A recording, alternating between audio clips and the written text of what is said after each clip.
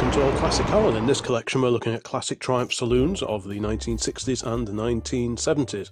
And to begin with, we start with XWT 656S, which is a 1977 Triumph 2500S.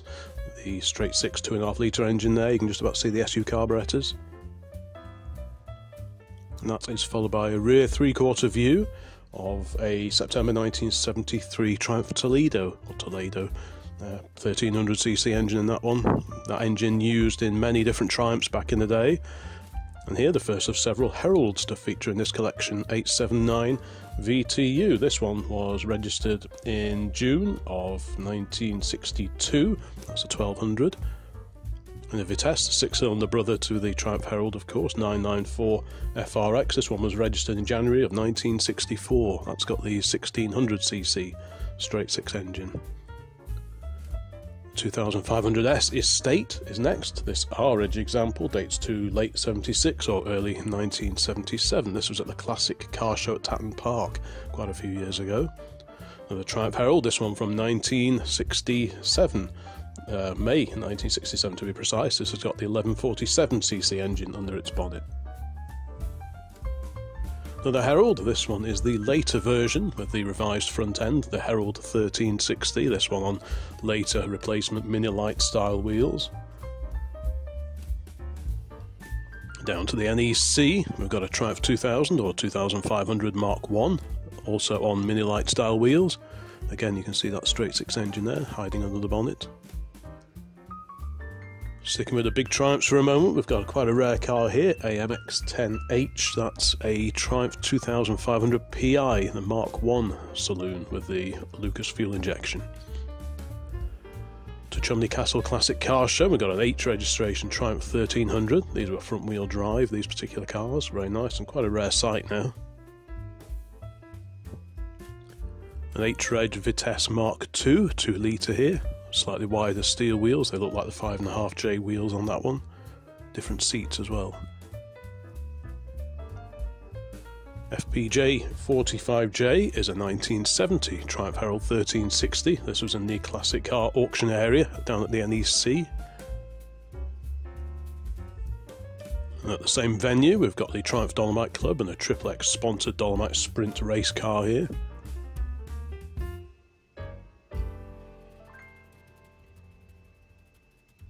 The Triumph 1500 here, the 1496 or thereabouts CC engine, also used in the last of the Triumph Spitfires.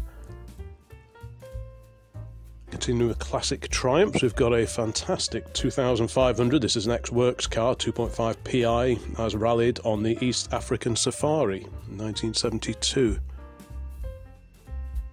Another Dolly, another Dolomite Sprint, the 16 valve engine, of course.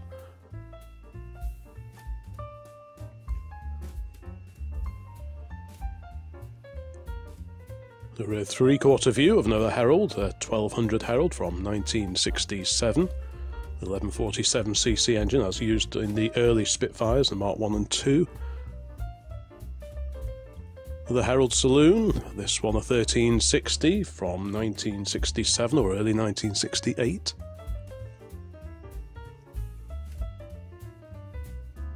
MDE 850R, that's a 1976 2000 TC. The big saloons either had the 2 litre uh, straight 6 or the 2.5 litre straight 6, the latter being a bit more torquey.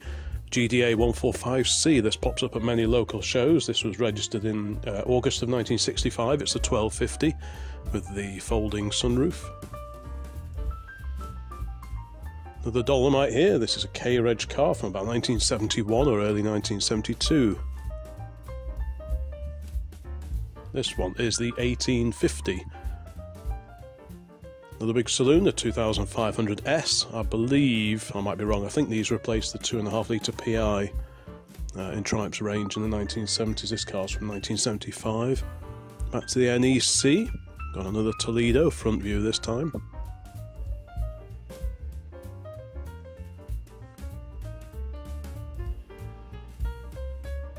Still at the NEC, we've got this fantastic Herald Coupe. The first coupe has had a smooth roof, then they went to this ribbed roof on the slightly later ones. This car was registered in January of 1963. And sticking with coupes, we've got this one-off factory-built Vitesse coupe. This uh, was sold originally to a chap in France and is recently repatriated here, but this is the only factory-built Vitesse coupe. Back to Dolomites and looking at that little badge on the rear roof corner there, 135, it suggests it's a modified Dolomite Sprint. Continuing with these big old Triumphs, we've got another Mark II Triumph 2000 here. This one's on TR6 steel wheels, and they do look the part.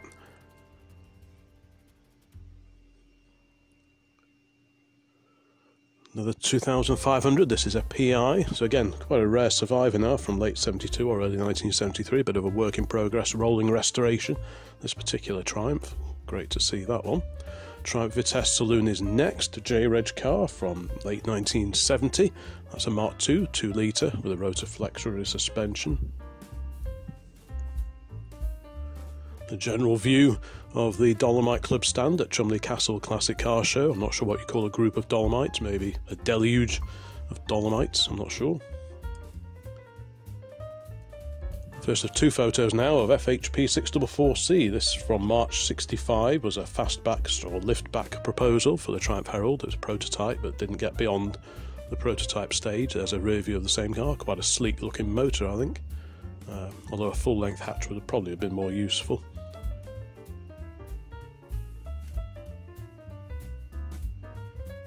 Down to Race Retro a couple of years ago. We've got this N registration, 1974, 2500 Mark II, the fuel injected engine, of course, very similar to the Triumph TR6.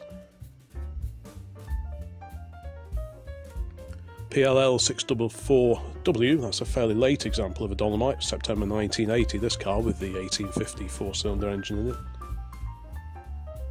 Another 1300 front wheel drive car, this one looks like it's been somewhere muddy recently, looking at the uh, state of the paintwork, but nice solid car overall.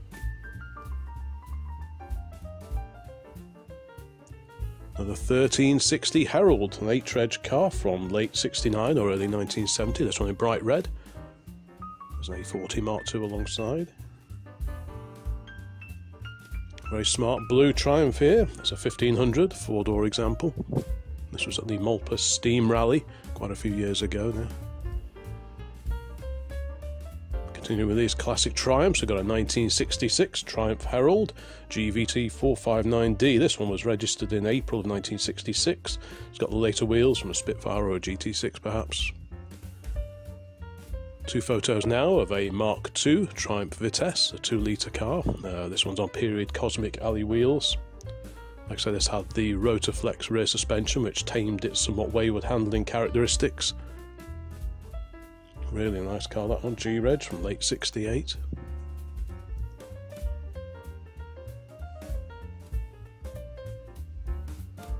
Another 2,500 TC here, this is an estate version in brown.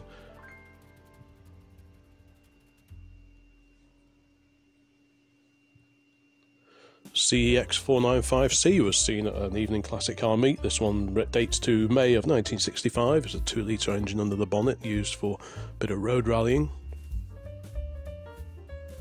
Side view of a red Triumph 2000 Mark II on Minilites. Not every car suits bright red and Minilite wheels, but I think that one does.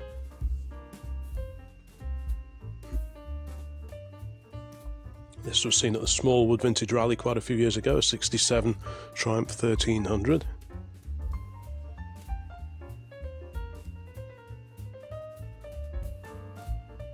Another one on Minilites and not looking bad for it at all. This is PCM 640J, 2.5 litre PI Mark II. They didn't have a great reputation back in the day, the PI cars. Now, this is a real rarity. This was a four door prototype, uh, now owned by the Triumph Sport 6 Club. Uh, India, in fact, had its own standard Herald Mark III four door. You could actually buy that from the dealers, but this car in this country didn't get beyond the prototype stage. Next up, a 66 Vitesse. This is the 1600 version, this one from April 1966, but it's been untaxed since 2016, so where is it now? Another Dolomite here.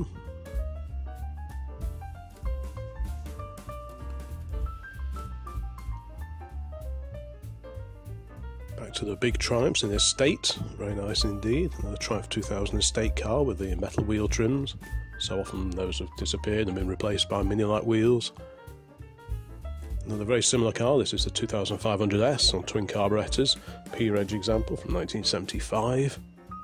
Saloon alongside. DTE 832B, that's another Vitesse 1600 um, from April 1964. That's got the full length roof, similar to the Herald 1250. Very original looking Triumph 2000 Mark 1 here. This is an H-Reg car from about 1969 or early 1970. AFM 588A is a Herald 1250, so this is a 1200cc car with the Webasto roof as standard. Of course, you could unbolt that roof and fit it to your own Herald if you found a 1250 in the scrapyard. AWP 6268 is another early example of the Mark II Triumph 2000, brown example.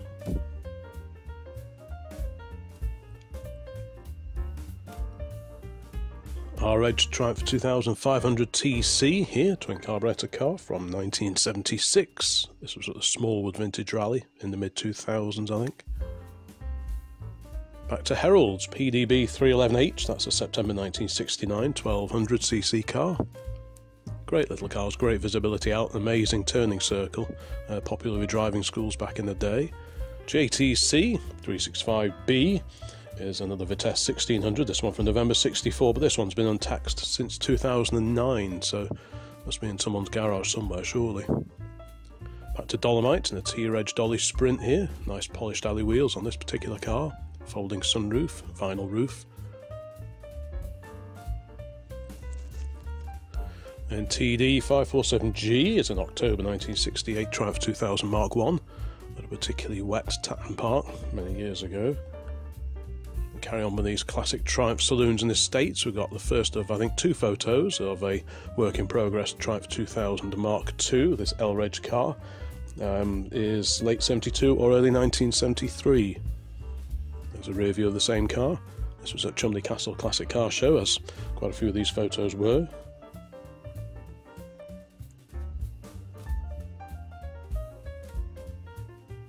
And the Triumph uh, 1300 front wheel drive car there. H registration, 1969 or 1970.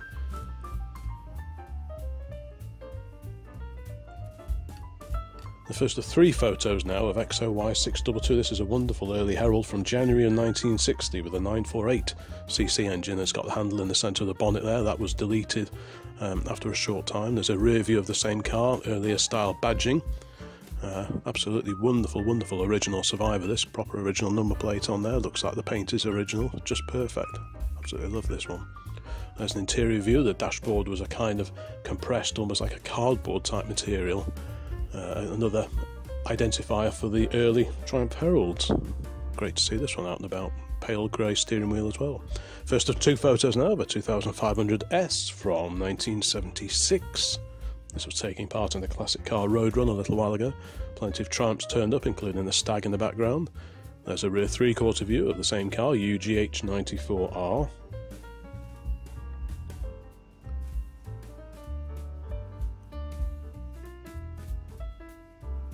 There's another Herald 1200 showing off its excellent engine accessibility. As a first time classic buy, there's a lot to be said for a Triumph Herald or the related Spitfire. You can just get at everything, it's quite incredible, really.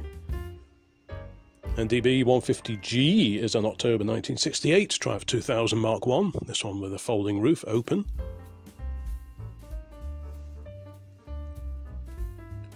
WVF 869S is a Triumph Dolomite. This was spotted down, I think, at Bicester Heritage, I think this was.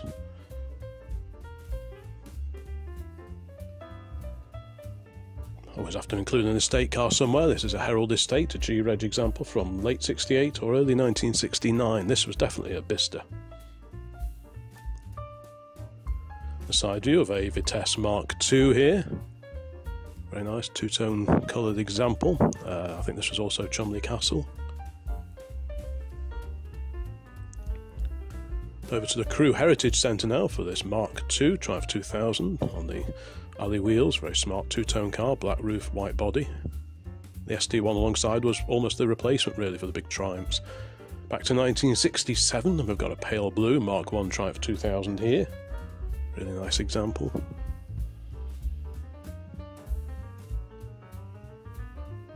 Back to Dolomites, and we've got an M-Reg Dolly Sprint. Many people say the earlier cars are actually built better than the later ones. If you've got any experience of any of the Triumphs featured here, please pop a note in the comments.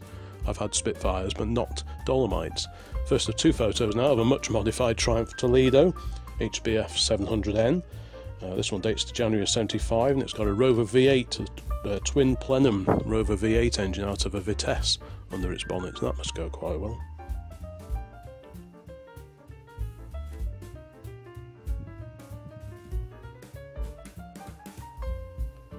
Lovely old example of a 2.5 litre 2500 saloon here, Dol 999, not a Dolomite, but a December 72 car, which like I say, 2.5 litre. The badging varied throughout the years. Next up, a JE registration Vitesse Mark II 2 litre with the original tin wheel trims.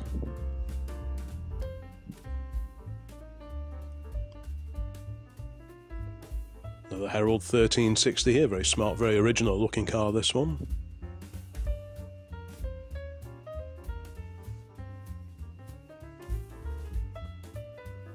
Mark 1 and Mark 2 Triumphs here, DXA 383C in the foreground. That's obviously a Mark 1 from 1965.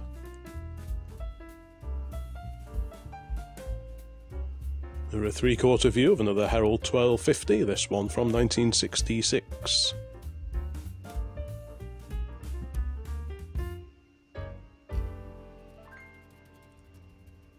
Very nice Triumph estate here is next.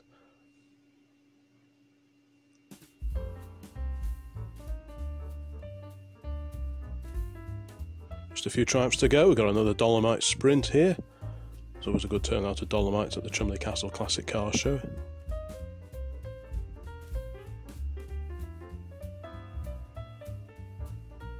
The very smart 2500S here, bright red, alley wheels. Great regular user one of those would be. Another one showing off its engine accessibility. This is a Vitesse Mark II, as the badge on the side of the bonnet says. So that'll be the 2 litre straight 6 under there with a Rotoflex rear suspension. Just a few more classic Triumphs to come. A rear view of a race prepared Triumph Dolomite Sprint now. This was at Oulton Park, I think probably one of the Gold Cup meetings a few years ago.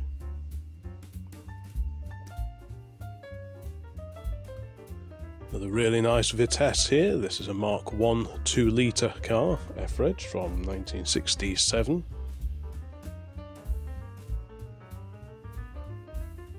First of two snaps now of OYY367L. This is a 2500 estate.